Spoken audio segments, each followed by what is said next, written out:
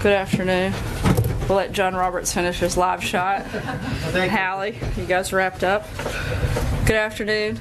As you all know, the Constitution states that the President shall from time to time give to the Congress information of the state of the Union and recommend their consideration such measures as he shall judge necessary and expedient.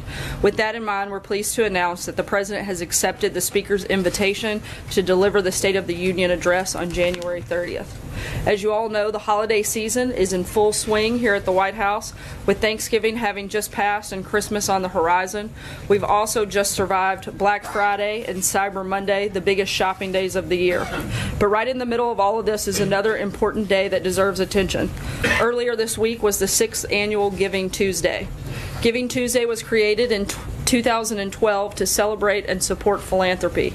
It's a great reminder each year that we have the opportunity and the duty to give back to the people, the institutions, to the country that have given us all so much.